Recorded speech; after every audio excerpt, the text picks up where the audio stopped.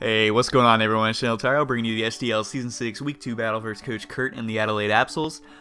Coming into Week 2, we did pick up our nice win last week against Purple and the Kohana Hydreigons. In case you haven't seen that, make sure to go check it out. It's a very close match. Now, as for this week, we are taking on Lando-I and a very scary Sand team, as well as Kyurem Black on top of that. Um, Curt is a very solid battler, and he drafted a very offensive team that's pretty scary. Gonna throw it up there to the right as you see Landorus Incarnate, Kyurem Black, Excadrill, Tyranitar, Sylveon, Reuniclus, Jellicent, Chesnaught, and Dunsparce. As for his team, when I was looking at the uh, matchup, uh, Lando's scary because he could just bring the Sheer Force, which I was expecting. I was expecting like a Sheer Force with Gravity. Gravity for sure, because it allows him to take on Celesteela as well as Excadrill. And then um, he could have also brought in a Sand Force set to go with the Sand, which is um, smart for his team. Like the overall build, he can go um, the special off attacking Sheer Force, or he can go physical attacking um, Sand Force and just do ridiculous damage. It's very hard to prep for defensively. Near about impossible. Next up, Kyurem Black. If he was bringing Kyurem Black, I was expecting either a Scarf set in order to take on a uh, Garchomp, because his speed tiers are garbage. His fastest Pokemon is Landorus at 101. Um, the only thing that I could counter Garchomp um, without a Scarfer is Excadrill and Sand. So I was definitely expecting Scarf or a bulky Z user in order to um, blow back Celesteela with um, the Electric Z with Fusion Bolt. Next up, Excadrill, I was just expecting stereotypical Sand, nothing more, nothing less. Um, Tyranitar, I was kind of expecting a AV or a somewhat bulky Pursuit Trap set. Um, Stealth Rock lead if he was an AV, so and then Sylveon, I was expecting a um, just a defensive set. If he decided to bring it, I don't really know what it was going to do this match. A decent amount of my team can deal with it. Um, it really only helps versus Hawlucha, but in the end, he had a better check to Hawlucha and Reuniclus. So next up is Jellicent. Um, Jellicent, I was kind of expecting a um, defensively bulky but also fast um, taunt set in order to deal with my Milotic. It also would just wall my Celesteela because I couldn't get Leech Seeds off of it and whatnot could take decent hits from Lele and um, Zam, but Shadow Ball would be doing a lot to them. So, and then next up, Chesnaught. If he was to bring it, it would probably be um, max defense with a. I don't know if you put a speed in this to um, try and wall Milotic because um, Chesnaught can still take it on decently well, even though it might get Scald burned. But if you were just to bring it, I would just be expecting defensive, maybe spikes. Um, but in, overall, I wasn't so sure if Chesnaught was actually coming. Next up is Dunsparce, and I'm not even going to talk about Dunsparce, it's just a meme pick, and I wasn't really expecting it to come, but he did in fact bring it, so that's cool. Um, makes it easier, less threats to actually worry about. As for my team build, um, starting from the left over here, we have Lele holding the Pixie Plate. This was um, max speed, max special attack. Yes, Hugo, it is 252, 252. I want to risk the speed tie on Kyurem if I needed to, and just do a lot of offensive damage. This had Moonblast, Psyshock, Focus Blast, and Taunt. Um, very similar set to last week versus Purple, where it was 3 attacks Taunt, but I need the Taunt because if it's a dual dance Reuniclus... Oh, I didn't talk about Reuniclus. If I if I uh, had to face a dual dance Reuniclus, I definitely need a Taunt in order to deal with that because Lele could take it on otherwise. Because if he is dual dance, then he's most likely max um, defense, which um, with the Pixie Plate, Moonblast will two-shot that Reuniclus. Unless it unfortunately gets up a Calm Mind first, so... Next up is Celesteela. This was the highlight to the team. This was just about... This was very defensive with just enough Spadef to where a non-invested Reuniclus can never two-shot me with Thunder. Um, I had leftovers, of course, uh, and the um, coverage was uh, Leech Seed, Protect, Heavy Slam, and Substitute. Yes, this team was just gonna, or this set was just absolutely wall his team. He does not have that great of checks to um, Celesteela. It's basically a um, physically offensive Kyurem Black, which I'm already running defensive for Excadrill and stuff, so it's perfectly fine. I'm getting Gravity up for Lando, which is like wasting a turn on Lando and getting damage on Lando. Or Thunder Reuniclus. He doesn't really have any other options. He could have brought some of his Taunters to deal with it, but um, it's still a pain nonetheless. Basically, I could just sub up and get a lot of leech seeds and just wear down his team over time in order for some of my mods in the back to sweep. Next up, Garchomp. Like I mentioned, his only counter, like straight up without any scarf, is um, and Sand. Uh, so I have SD Garchomp with uh, Earthquake, Dragon Claw, and Poison Jab. Plus 2 Poison Jab will take out Sylveon. It will do around 75% to a defensive Chesnaught, which isn't too much, but um, I didn't feel like Chesnaught was coming, so I'd rather have Poison Jab in case Sylveon decided to come. Um, because I felt like the Sylveon had a little bit more viability this game than Chesnaught. Um, Earthquake would absolutely just destroy his team, plus your Dragon Claw probably takes out Lando after, it does take out Lando after rocks for sure, in case he did have a little bit of bulk. Um, would KO otherwise, I think, so. Next up is Pikachu, this is a fun set. Um, I had uh, Brick Break, Volt Tackle, Hidden Power Flying, Substitute. Basically, if he decided to lead Tyranitar, I planned on killing his Sand Setter turn 1. Because if he led Tyranitar, it was for sure his Rock Setter, and I would assume he would stay in. Brick Break had a um, good chance to kill, assuming he'd be um, not really defensive vested T-Tar nor Chople Berry. I would expect um, either the Smooth Rock, took me a while, um, Shuca, he could have been Chople, but I wasn't really positive on that. Um, I, I was thinking Smooth Rock, Shuca, or um, Assault Vest. But of course he wouldn't be his lead if he was Assault Vest, so... Either way, Pikachu uh, had a 97% uh, to 114 or something like that to um, kill Tyranitar with Brick Break, which is very cool. We were max attack Adamant Pikachu with the Light Ball, of course. Um, Hidden Power Flying did two-shot Chesnaught, which is still interesting. Um, Volt Tackle did a just so much to Reuniclus, um, which is good because I need a chip on that. It also gave me another answer to Jellicent since Jellicent was a little annoying for this team. Um, and then Substitute was I could get it on the Tyranitar if he just didn't respect Pikachu and went for his rocks. Next up is Hawlucha. This absolutely destroyed his team unless he was max defensive Reuniclus.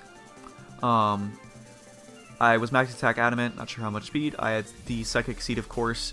I had um, Swords Dance, Acrobatics, High Jump Kick, and Throat Chop. Throat Chop basically stopped Sylveon from hyper voicing me. I mean, Sylveon did have the option to use a Psyshock in my Psychic Terrain, but it didn't necessarily want to click that for anything versus my team. So Hyper Voice felt like it'd be fine for him to bring.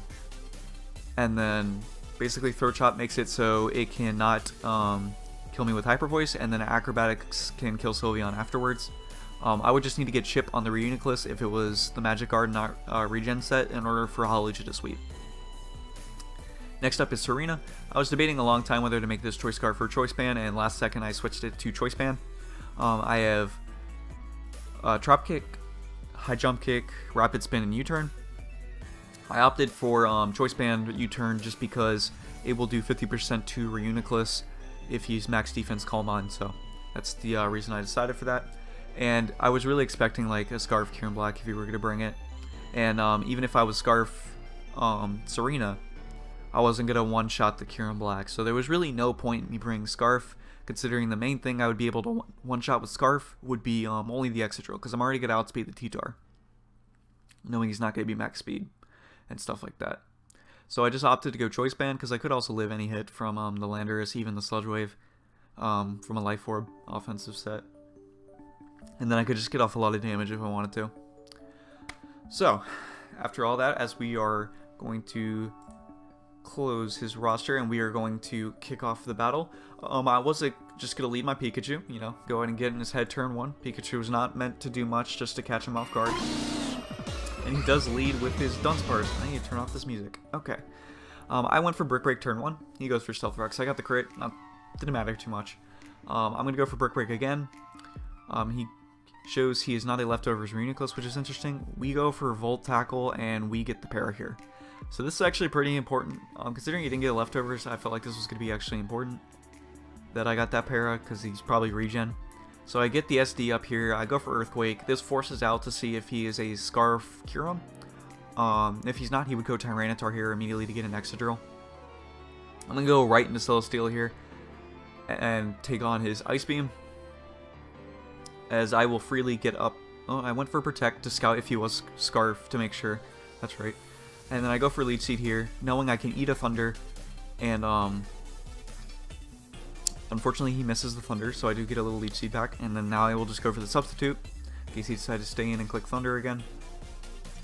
So I will go for the Leech Seed on this Landorus as it goes for Gravity. Expecting him to stay in for some reason. I clicked Protect, but of course he's going to Excadrill here. So I um take this Earthquake because of the gravity, and then shows his Life Orb, which is very important because um, I can just wear down this Excadrill just by being shenanigans. So he does a nice play here, goes for SD on my Protect, um, so I'm forced to switch out here. this was such a mistake. I went, the reason I switched out Celesteela was because of Gravity, and what did I do? I click Hawlucha immediately. I went so fast to click cancel, but it was too late. I really wanted to go Serena there, but I, I derped so hard. Um, so we lost Hawlucha. I was really scared at this point, knowing that Reuniclus has Thunder, and then the Kyurem Black's offensive with um, physically offensive based off the Ice Beam damage, so it can get um, its Fusion Bolt damage on Celesteela, but Celesteela can still do work, because I do have that para on the Reuniclus, and Thunder is only 7% accurate. So I go for the leech seed here as he goes into Landorus. Um, I'm going to go for the Heavy Slam, get off damage, make sure you can only get up Gravity one more time versus my Celesteela. And I'm going to click, click Leech Seed again here, knowing he's going to switch because he needs to keep that Gravity. One, it boosts the accuracy of his Thunder. Two, it allows Excadrill as well as his own Lando to hit me with Earthquake. I will just go for Heavy Slam here and take out the Excadrill, and there is Celesteela's first kill. as he goes into Kyurem here, I am just going to protect and scout what he wants to go for. Um, but he decided to go into Reuniclus, which is perfectly fine. He goes for Thunder, showing he does have a little special offensive investment, considering my um, 12 in special defense ensured that Thunder never 2 KO'd me. But he misses Thunder there, and I'm just going to Leech Seed, Protect, and be annoying. so basically, he has to break through Para, and then he has to actually manage to land a Thunder just to break the sub, and then I can sub up again later on. So he is in a losing battle. He needs to get like crits with his other Pokemon, stuff like that. In comes Tyranitar on my Heavy Slam. Goes for Thunder Runt, gets a crit to break my sub. Don't know if it mattered, don't really care. Um, go for Heavy Slam, takes out Tyranitar, plus 2 defense. So now I absolutely wall Kyurem Black um, with its Fusion Bolt, considering I do know it is um, Scarf at this point. Or still assuming. As I protect, he gets parried, which is probably not the best because I did want to PP stall the Thunder. Um, so I go for sub here, and I'm just going to expand sub until he gets either parried, which happens here, or he misses Thunder. He was in a losing battle, unfortunately. Um, I, I re I'm really only sorry for the um, para from Pikachu, because Volt Tackle is only a 10% para, just like Thunderbolt and stuff, so that's really unfortunate. But um, it's Thunder 70% accurate. I, I've ran it with Reuniclus and other things, and I just hate doing that. Like, I've had to run Iron Tail with Lucario before this gen when it got Meteor Mash, and it just sucks. But, so he's just got to work around, hope he gets a crit and stuff like that in order to break this Celesteela. He goes for the Fusion Bolts. He does a, a whopping 24. and we're just to get the Leech Seed as I can just stall him out easily here. Go for the Heavy Slam. Get more Leech Seed recovery back as I can go for the Protect here on his Fusion Bolt, get Leech Seed, and he will go down to Leech Seed next turn, so uh, this is a free sub for Celesteela. As we do get the little bit of Leech Seed back to kill the Kyurem Black, for, so for Celesteela getting its third kill, and right here I'm just going to click Leech Seed. That's fair. And then as he goes into Reuniclus here, I was protecting in case Lando wanted to go for Earth Power. But I'm just going to go for Heavy Slam because I will two-shot this Reun. But I want to make sure that um, Lando can't come in on Gravity, so I'm just going to protect for these turns. And then I'm going to set up a sub. Reuniclus does break them, so it's fine. But now I just click, get to click Heavy Slam and win the game with Celesteela. As we take out the Reuniclus, get the Beast Boost in defense again, and the Landorus comes out on 4%, just gravity in case I choke for some reason, which is kind of impossible at this point. And I go for the Heavy Slam. So it was very unfortunate for Curt that I did get that para on Reuniclus. Um, it just really mattered about the amount of times that he could um, at least land Thunder, because he did get um, parried two or three times. Um, basically, he just had to get um, Reuniclus in whenever gravity was up, just so Thunder would hit more. Um, I think that was the only chance he had of really dealing with the Celesteela, but he tried a few times to try and land the Thunder out of gravity, and that just didn't work. Um, Celesteela did its job for sure. it picked up five kills, which is ridiculous. Um, Once again, unfortunate for Curt, but it's 70% accurate. It sucks. Reuniclus just needs Charge Beam. If it had Charge Beam, my Celesteela wouldn't have been able to do what it did this game. Um, it was still a good game to him nonetheless. Um, props for bringing the Dunsparce. As I brought the Pikachu, we both brought our memes, which is pretty cool. But that'll be it for week two. We are 2 0, rocking a plus 7 differential. Not even bad. And next week, I am not sure who will be taking on, but I will make sure to see you there. So sub, like, share, deuces.